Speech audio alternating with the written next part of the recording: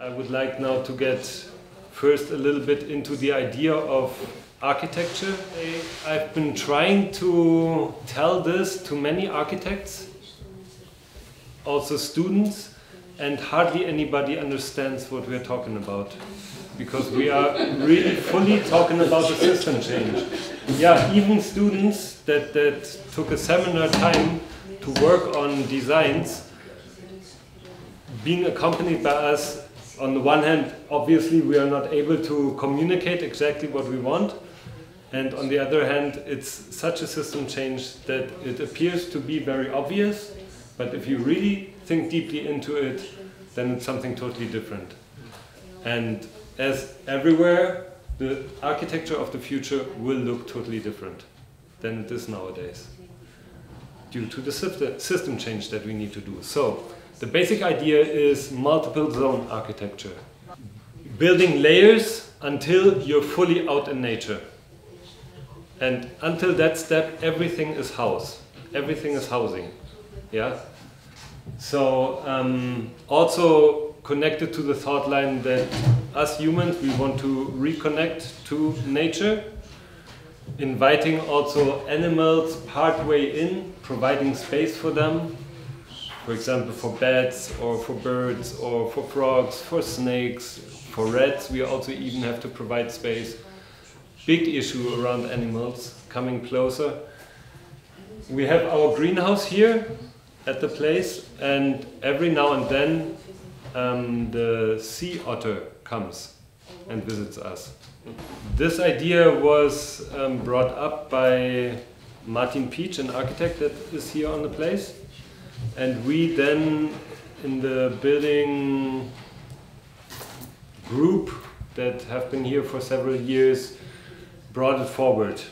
And actually, right now we are not allowed to build, but as soon as we are, we would like to build one example building in that style and manner so that people can really see.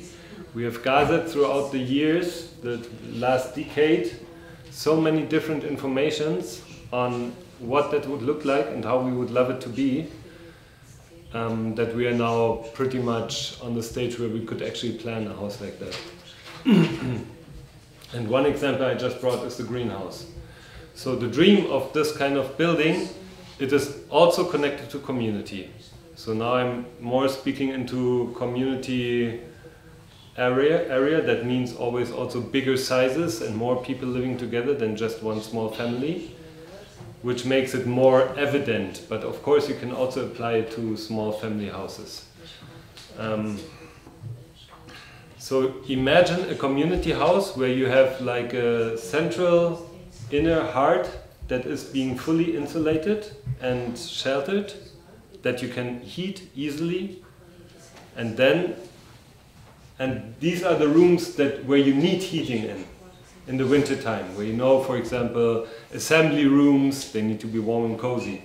Sleeping rooms, also for some people, others don't like it anyway, so some people sleeping rooms.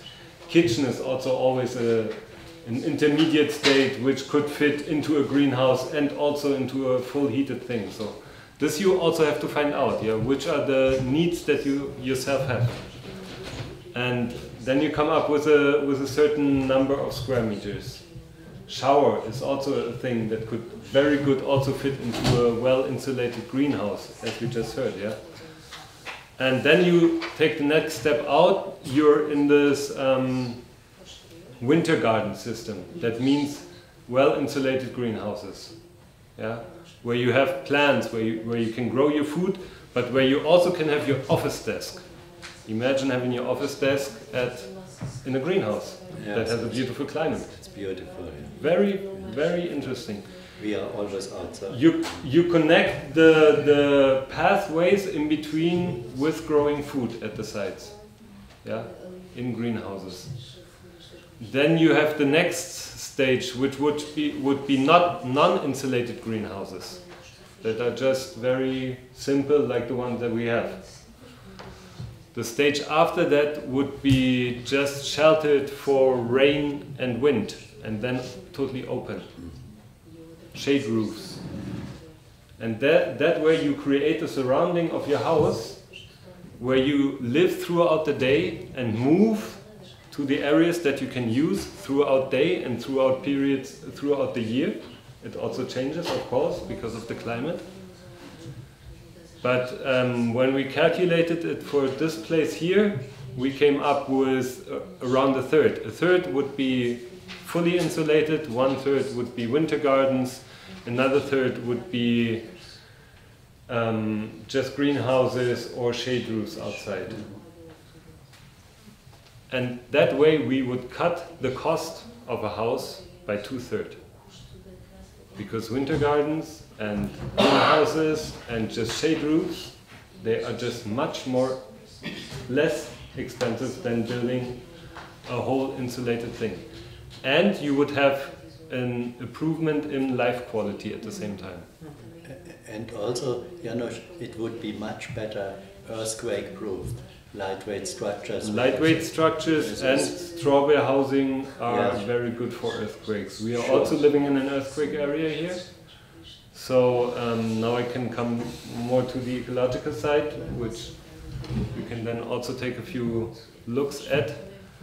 Um, we went on the on the line of straw bale building here in Tamera, and we pretty much stick with it because that is just a local material that grows on the neighbor's land, and you can put up your houses beautifully. They are much better insulated than you would actually need it, but that doesn't matter so much because you have the material that is there and it's produced that way. And um, we built several different straw bale houses on the place. The, the biggest one is the Aula, which you probably already know. One is our office, it's the Hogan, that is in the back behind the kitchen there.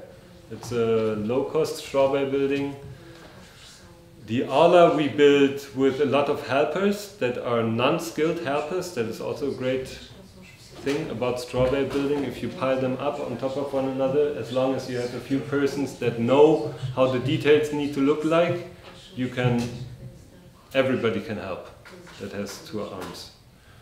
And um, then we went on another kind of building, which are the workshop areas up there, it's the herbal house and the sewing workshop. And these were made by a company that came here. We also joined them working. And they prefabricated the parts of the walls with the straw beds on the ground. Prefabrication, spraying the first layer of, um, of, of earth on it as plaster, and then putting it up with a crane. That is a if, if you do a, if you do it with skilled people and um, you and the wages are very high, that's the way to do it. Beautiful houses, of course, they are um, built in a way that they would be low energy houses. That means up to modern knowledge, you try to seal the inside that no airflow, no unwanted airflow comes through. And that means like very little gaps, like five millimeters gaps will change the insulation of your house dramatically. That we know these days. So you really have to make sure that everything is done very well, that you only get fresh air when you open the window, and not all the time. Basically like this. You can look at them, they're both, the, the houses up there are both heated just by the solar panels on the, on the roof they're not very much directed towards the sun, towards capturing sunlight, or even with winter gardens or anything in front. But alone through the solar panels, they are pretty much heated throughout the winter.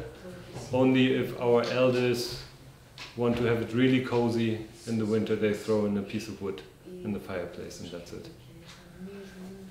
The um, the feeling in such a house when you insulate it and you have a clay plaster inside? It's very nice. It's like something totally different than um, working with the normal building materials because it, it breathes. It takes in moisture. It keeps a certain uh, yeah it keeps a certain mood in the air and I mean, then I can come to other issues which are also very interesting if you speak terms of architecture. Is the social behavior of humankind? And how do rooms have to be set up in a way that social interaction takes place? And that yeah and this is a, this could actually be a science of the future because it is so interesting how we behave you would normally not not realize it. You would always normally think different. There are like two examples that i would bring for that. For example we love to build in a round space and have an open round space in the middle.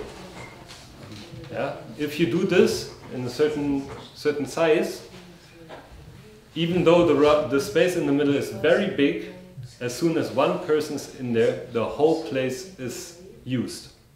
Is used up if you want to come in you have to make contact to that person or you cannot you cannot enter. Yeah? It, it really restricts the thing. And uh, it's it's a funny thing because we have this picture of rounding a space would be a nice idea and would gain area and place but it's not that way. It's the other way around. You lose place if you do this. If you do it like we have it out here very little different corners that all have their own space. In every space something different can happen. People are not interfering with each other, but can make contact if they want to, but they do not necessarily have to. Many people at the small place that were 30 people on 200 square meters actually, and uh, we were having a fireplace outside in the wintertime. And of course, you make a fireplace, you have your house, you have your garden in front, you make your fireplace in the middle of the garden or somewhere there. So we did it. We had in the, la in the years one, two, three times fire in the, in the winter there. Then it was nice, but it's really like very rare. So one time we moved the fireplace into the hallway, into the pathway where people would need to go through. And we had fire every night. And every night we have people sitting there and talking and having interesting talks. And these are things that you also, if you think of architecture, that are very, very important because these are the envelopes that we build for our own social behavior and being and well-being. Yeah. So it's and then integrating, of course, the ever since I heard Jürgen talking about his ideas, how to capture energy and so on, I always pictured it to be within architecture. And I think that is such a beautiful combination that can take place there very easily. And so I'm looking forward to, to think about it. I also know it's very extremely complex. You have the complexity of such a building, it's immense, but it's also joyful.